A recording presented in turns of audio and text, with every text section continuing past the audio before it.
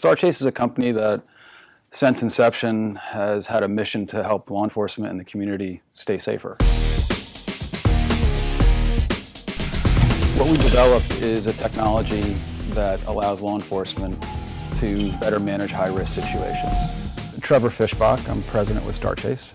The technology has proven itself with some incredible results. Law enforcement's accomplished 10,000 tags. What that means to me is they've had 10,000 opportunities to reduce risk for the public, for themselves, uh, for the innocent public, uh, and also for the suspect. And we're proud of that. Hi, I'm Clarence Frango with the production department. And to me, 10,000 tags represents 10,000 opportunities we've had as a company to make a difference in our community. I'm Prasanna and I work in the engineering department. If you look at the scope and the application of each one of those tags, and there's a story behind each one of those tags, the fact that I'm part of that response team makes me feel proud. 10,000 tags is a, is a milestone, not just for the company, but, but for each individual agency of ours as well.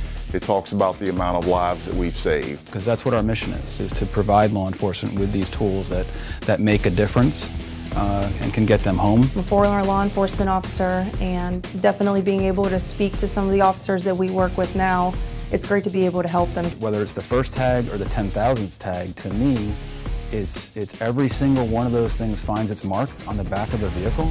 It's a life saved. Law enforcement's evolving and technology is allowing them to do that. Everybody in law enforcement wants to make the right decision. But when you start to give them the tools to make the best decision possible, that's a good day.